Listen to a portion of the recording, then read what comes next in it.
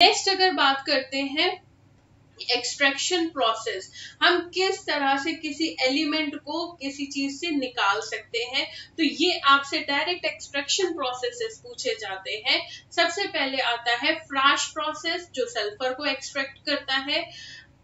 Acheson process जो graphite के लिए होता है।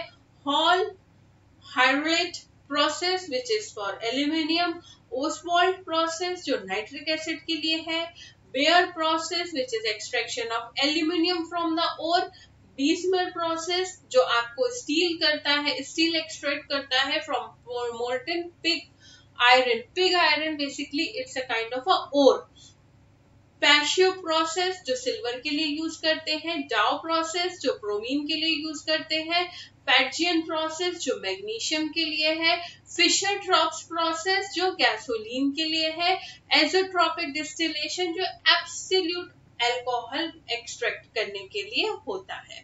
नेक्स्ट आता है आपका वर्ड विच इज़ मेटल अब मेटल क्या होता है? तो मेटल सबको पता है कि भाई हम मेटल बोलते हैं आयरन को मेटल बोलते हैं तो मतलब क्या हो भाई सॉलिड है, पहली बार दूसरा हार्ड होता है। जो रूम टेम्परेचर है, उसमें क्या होता है? हार्ड होता है। एक्सेप्ट कौन सा आपका हार्ड नहीं होता है? दैट इज़ मरकरी तो they are they have lustre यानी कि जो शाइन करते हैं। अभी अगर हम बात करें